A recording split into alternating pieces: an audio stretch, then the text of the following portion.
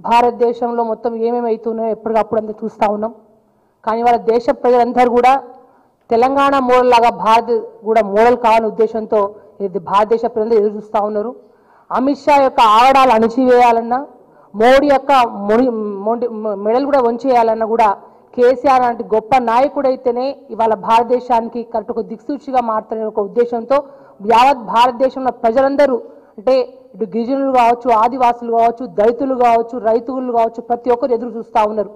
ఇవాళ మొన్న మొన్ననే ఇరవై నాలుగు రాష్ట్రాల నుంచి రైతు సంఘ నాయకులు అందరూ వచ్చి కాళేశ్వరం ప్రాజెక్టు మరి మిగతా అన్ని చోట్ల కూడా తెలంగాణ సస్యశానంగా ఉండడంతో చూసిన తర్వాత అయ్యో భారతదేశంలో ఇటువంటి నాయకుడు ఎందుకు లేడు? పాలించే నాయకుడు కేసీఆర్ లాంటి గొప్ప నాయకుడు కావాలని చెప్పేసి మొన్నటి మొన్ననే ఇరవై ఐదు ఇరవై నాలుగు రాష్ట్రాల అందరు రైతు సంఘ నాయకులు అందరూ కూడా కోరుతున్న విషయం మన కళ్ళ ముందే కనబడతా ఉంది.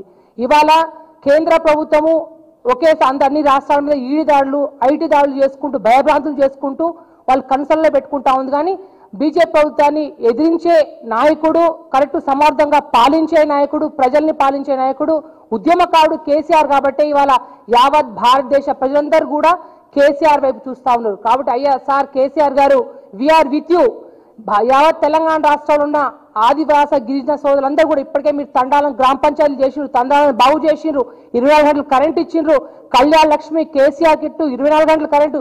ప్రతి ఒక్కటి కూడా మీ నాయకత్వంలో మీరు ఏ విధంగా అయితే తెలంగాణ రాష్ట్రాన్ని ఉద్యోగం చేసి సాధించుకున్నారో ఇదే విధంగా ఆ రోజు ఎట్లా ఉద్యోగం సాధి చేసిండ్రో ఈ ఇవాళ భారతదేశం కూడా మోడల్ భారతదేశంగా తెలంగాణ రాష్ట్రం లాగానే భారతదేశం తీర్చిదిద్దేంగా మీ అడుగు ముందేయాలి. మీ అందరూ యావత్ తెలంగాణ రాష్ట్రంలో ఉన్న మహిళా సోదరులందరం మేము ఆడబిడ్డ మీ అందరం కూడా మీకు దీవిస్తా ఉన్నాం. మీరు ముందుకు సాగాలని చెప్పి కోరుకుంటూ విఆర్ విత్ యూ సార్. మీరు ముందు భారతదేశ కొత్త- పార్టీ పెట్టాలి. మీ నాయకత్వం ప్రజలు ఎదురు చూస్తా ఉన్నారు. యావత్ తెలంగాణ రాష్ట్ర ప్రజల ద్వారా మిమ్మల్ని విజ్ఞప్తి చేస్తా ఉన్నాం.